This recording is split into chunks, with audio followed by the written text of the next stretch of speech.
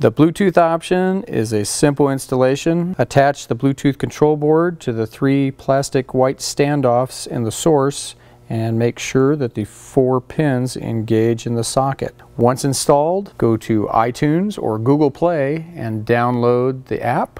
Then follow the instructions found on the sPOD site.